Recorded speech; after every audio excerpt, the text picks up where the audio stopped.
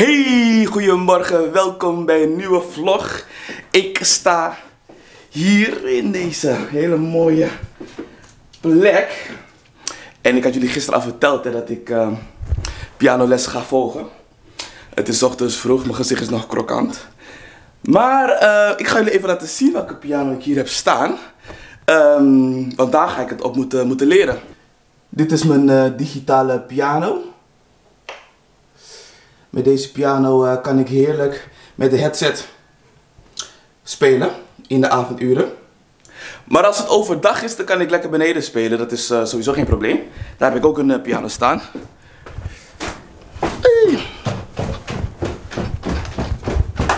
Dat is eigenlijk meer een meubelstuk hoor, dan het de piano is.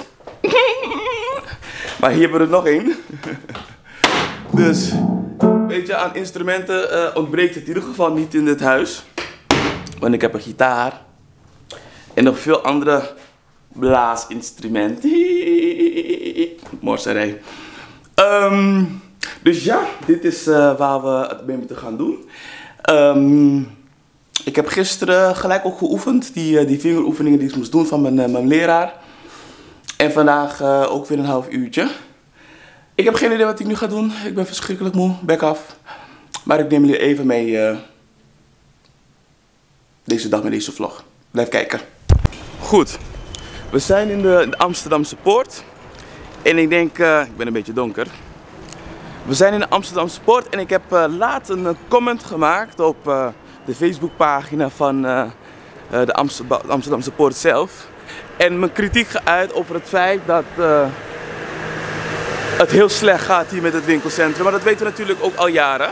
Maar even om een goed beeld te schetsen.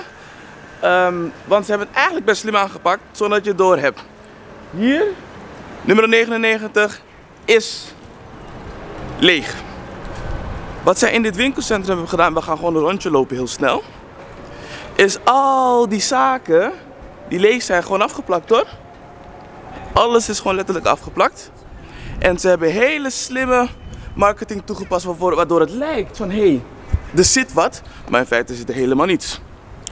Um, hier achter mij nog een plek nummer 9, 97 is vervolgens ook, uh, ook leeg.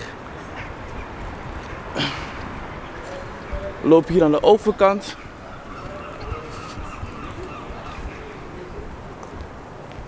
Aan de overkant hebben we ook uh, leegstand, leegstand.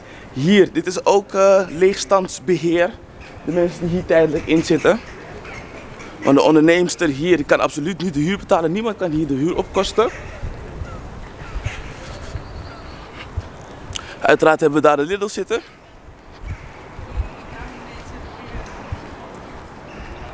We lopen even rustig verder. Langzaam komt het winkelcentrum uh, tot leven. En kijk, dit is op zich geen kritiek.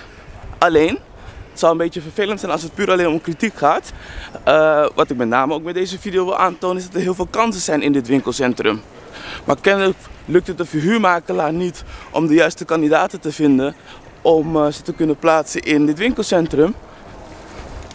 Of ze zeggen gewoon keihard nee. Hier, het oude wie.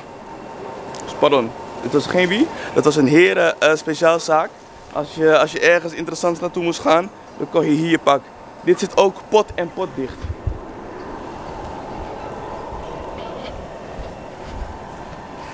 Pot en pot dicht. Nou, we hebben Mo, Modi, Moda di Ricardo. Uh, er was een tijd dat deze gasten drie zaken hadden hier in de Amsterdamse. Drie keer hetzelfde. Nou, daar word je ook niet warm van. Een van de laatste aanwinsten die we hier hebben, uh, dat is Mixed Flavor. Die zijn vrij recent, uh, eigenlijk sinds dit jaar zijn, zijn zij gestart. Naast Mix Flavor hebben we hier zogenaamd wat, wat lijkt op een, op een winkel. Het is geen winkel, het is gewoon afgeplakt mensen. Even opletten. En verder hebben wij geen bijzonderheden meer. Oh nee, ik zeg het verkeerd. Ik loop even verder. En wij zien dat de KPN zelf, de KPN zegt zelf, weet je wat? Ik kan het niet eens veroorloven om een groot pand te hebben, want ze zijn van de andere kant van het winkelcentrum hier naartoe verhuisd. KPN zit nu hier op een kleiner stuk. Vervolgens hebben we hier de standaardzaken die, eh, die al heel lang hier zitten. Uiteraard Daily Company, die al jaren zijn zaken goed doet hier in het winkelcentrum. Wij hebben nu slechts 25% van het winkelcentrum gezien. Slechts 25% van het winkelcentrum hebben we gezien. We lopen mooi nu naar de andere kant. Zo. We beginnen even deze steeg in te lopen, de welbekende uh, steeg. Hier op de hoek. Leegstand. Daar zat, uh, wat zat hier? Er heeft heel veel gezeten hier op deze hoek. Maar er zat een schoenenwinkel. Lange, hele, heel lang. En volgens mij voor de wat betere schoen zat hier een schoenenwinkel. Daarna zijn er andere zaken daar uh, gevestigd. De welbekende juwelier, die, uh, die is weg. Die heeft de zaken verkocht. Nou, een heel mooi ding wat we terug hebben gekregen is Nieuw Metropolis. Dat is, uh, dat is heel fijn dat het hier zit.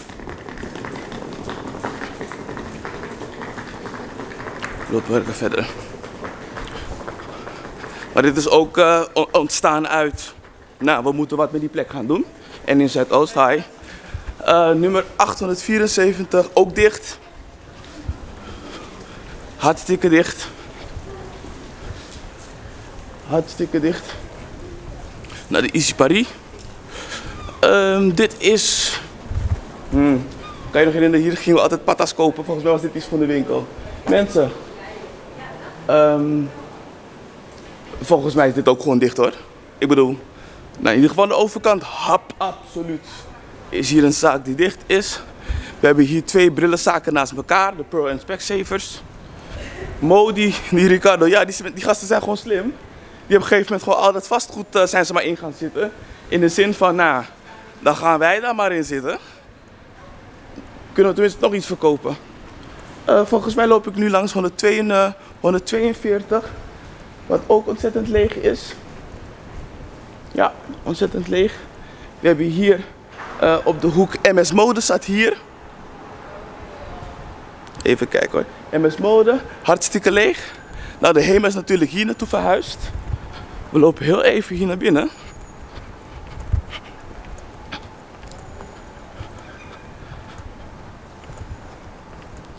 Voor de mensen die denken, vooral je bent je tijd aan het verspillen. Nee, ik probeer bloot te leggen wat hier daadwerkelijk het probleem is.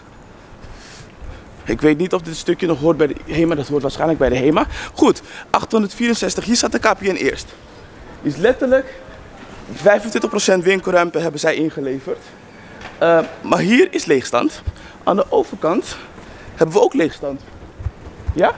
Beauty Masters is verhuisd naar de andere kant. Uh, de oud-vestiging van Beauty Masters is leeg schoonheidsspecialisten. We hebben hier Minami gevestigd. Dat is uh, ongetwijfeld ook leegstandsbeheer.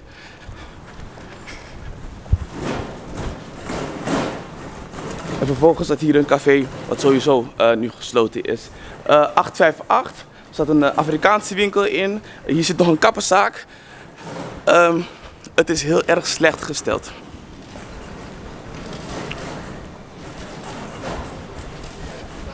We lopen nu richting de Albert Heijn. En um, ik heb ooit eens een keertje de verhuurmakelaar gesproken hoor, zeker. Waar ik was op zoek naar een bedrijfspand om een eigen business te starten hier in de Amsterdamse Poort. Ik was bezig om een, uh, een eigen bedrijf te starten hier in de Amsterdamse Poort. Maar dan uh, spreek je met de verhuurmakelaar en dan hoor je de huurprijzen. En daar schrik je wel van. Um, maar goed, afhankelijk van welke business zou dat geen probleem moeten zijn. Hè? Hier, leegstand, overkant. Tussen uh, beautywinkel en de welbekende juwelier waar we al jaren ons ding doen. Hier is gewoon ook leeg. We hebben CNA. Die wat mij betreft ook voor spek en bonen hier aanwezig is. Slecht gesorteerd, ze doen eens iets met herenkleding. Oh ja, overigens als je herenkleding zoekt in deze, in de, hier, dan kan je nergens terecht hoor. Zullen we even kijken wat in de hoek zit?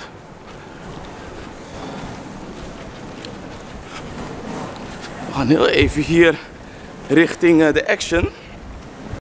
We mogen blij zijn dat, uh, dat de Action hier, uh, hier zit. Maar ja, alleen actionwaardige winkels vullen ook niet een winkelcentrum. Die prijsknallers, daar overleeft een winkelcentrum niet van. Overigens hier uit blokkenlocaties hebben we twee gigantische uh, koopjeswinkel. Maar hier hebben we honderden vierkante meters vast, vastgoed. Waar ook gewoon tijdelijk wordt leegstandsbeheer. Hè? Ondernemers worden daar tijdelijk in gezet. we hebben het AM Jong gebouw uiteraard hier aan het einde. en we hebben hier de Action. Aan deze kant hebben we eigenlijk aan de overkant van Chaparral zoveel vierkante meter, maar er is geen bedrijf die zich hier durft te vestigen. De blokken staat hier.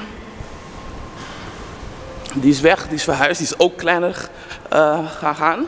Dus als zelfs de blokker het niet kan veroorloven om hier zijn onderneming uh, te blijven vestigen.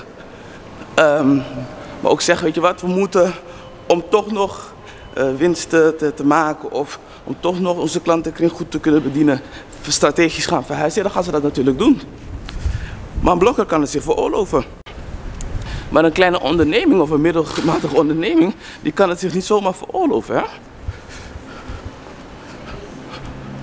En uit mijn ervaring weet ik dat als we richting um, de Albert Heijn lopen, hebben we over het algemeen wel een sterk stukje um, winkels staan die allemaal wel uh, autonoom draaien en volgens mij wel hun geld verdienen. Daar is het goed, maar het heeft puur te maken met het verkeer. Wat daar in deze winkelstraat gewoon goed, uh, goed, goed, goed loopt. Dus ze hebben minder moeite om hun zaakjes daar op orde te krijgen. Nou, aan deze kant hebben we nu uh, Beauty Masters, die is nu hier gevestigd. Dus als je voor de manicure, pedicure, sanicure wilt gaan, dan kan je hier terecht. Maar ja, het zou me niet verbazen dat als naast Beauty Masters uiteraard ook weer leegstand zit. En het zit er ook gewoon 401. 401. 401. We zijn verhuisd aan de overkant. Leegstand. Leegstand, leegstand. We lopen langzaam weer terug naar het punt waar we zijn begonnen.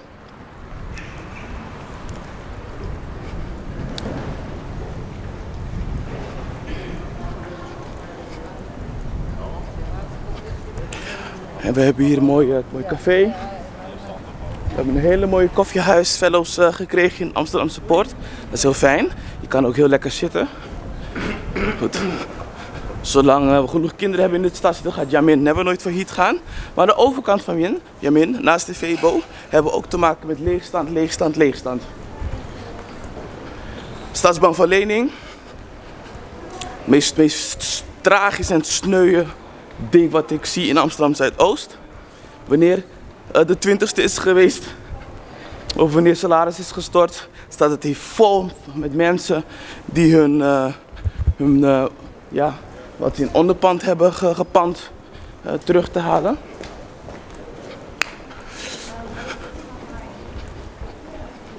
Dat is best, best sneu. Echt waar. Wanneer geld gestort is, nou, we hebben hosts rondlopen in, uh, in Amsterdam Zuidoost. Mag ik een vraag stellen? Indien jullie camera verlegen zijn, hoef je niet op camera hoor. Oké, maar goed, ik heb twee hosts hier voor me lopen. Wat doen jullie hier binnen de Amsterdam Support? Voor de samenleving. Oké. Okay. Oké. Oké, dat, is, uh, dat is heel goed. Leuk dat jullie er zijn. Uh, heel fijn, want dit soort initiatieven zijn heel belangrijk voor, het weer tot leven brengen van uh, het winkelcentrum. Ik maak toevallig een filmpje over hoe slecht het eraan toe gaat hier in het winkelcentrum. En probeer in beeld te brengen hoeveel leegstand we eigenlijk mee te maken hebben. Het is heel creatief opgelost met al die dichtgeplakte uh, winkels. Maar het is gewoon een crisis hier. Dat ben ik even in beeld aan het brengen. Dat, er, dat het gewoon niet goed gaat met het winkelcentrum. Maar ook dat er kansen zijn voor ondernemers om iets te kunnen beginnen hier. Maar dit wat ik hier zie is heel, heel goed. Dus ga even verder. Als jullie heel veel wachten, dan komen we niet in beeld. Maar goed, uh, we hebben hier een prijsknaller zitten. Alles moet hier prijsknaller zijn. Nummer 113, leegstand. Hunkemuller zit hier aan. Hier aan de overkant van nummer 113. Weet je? Laat je niet vergissen door die mooie stickers die ze hebben laten maken. Dit staat gewoon hartstikke leeg, joh. Hartstikke leeg. Hartstikke leeg. Nou, deze tent uh, die wat hierin staat is failliet. Um, dus daar zit nu wat anders in, ook tijdelijk. We hebben uh, Oskam hier zitten, dat is een gigantisch mooi plekje voor uh, kunst en cultuur. Aan de overkant van Oskam hebben we hier ook een, een, een stukje leegstand. En dan komen we uiteindelijk bij onze welbekende Kentucky Fried Chicken die never nooit failliet gaat. en hier hebben we een koffietent zitten. Die ook, uh, weet je, en daarmee komen we eigenlijk tot hetzelfde punt weer terug. Ik doe heel even mijn bril af, dat jullie mij in de ogen kunnen aankijken wanneer ik dit zeg. Het is echt ernstig gesteld, economisch, met dit winkelcentrum. En de functie wat een winkelcentrum zoals deze zou moeten hebben, daar is het ook heel erg slecht mee gesteld. Dus ik was heel erg getriggerd door um, ja, die post. Want er zijn mensen verantwoordelijk voor dit winkelcentrum. En die dan met historische beelden komen en foto's van vroeger. Ja, sorry. Wanneer wij door dit winkelcentrum lopen die hier zijn opgegroeid, hebben we sowieso al pijn en verdriet. Want wij hebben het en kennen het als zijn een van de mooiste plekken waar je lekker uh, elke dag eigenlijk gewoon hier vrije ding kon, uh, kon komen doen. Maar wat is er eigenlijk van overgebleven behalve prijsknallers en, uh, en eten? En allemaal een beetje van hetzelfde. Er is niets van overgebleven. En het kan niet alleen maar liggen aan die ondernemers die hier zich niet willen vestigen. Daar ligt het niet aan. Het is de gelegenheid die de lokale ondernemers niet krijgen om hier hun, business te voeren. Want ik kan zoveel ondernemers hier aanwijzen binnen het winkelcentrum. Hm? Het zijn een Bomberbox of een Minami. Hm? Die hier prima hun ding zouden kunnen en willen doen. Maar er is geen ruimte voor. Ja mensen, wanneer gaat dit nou veranderen? Ik ben Final Creator, ik heb jullie even laten zien dat we geen nepperij moeten geloven. En wel scherp moeten blijven. Zie je bij de volgende video.